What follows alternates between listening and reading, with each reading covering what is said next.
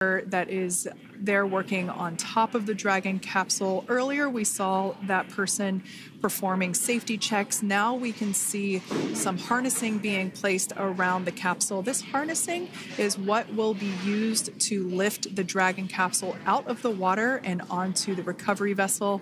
Wow, we got a cute little pod of dolphins. It wasn't just one or two.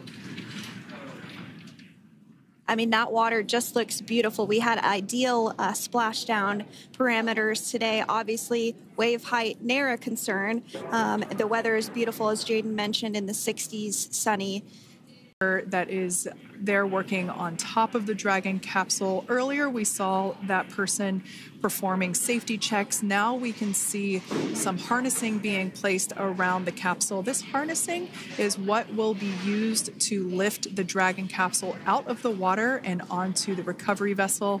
Wow, we got a cute little pod of dolphins. It wasn't just one or two.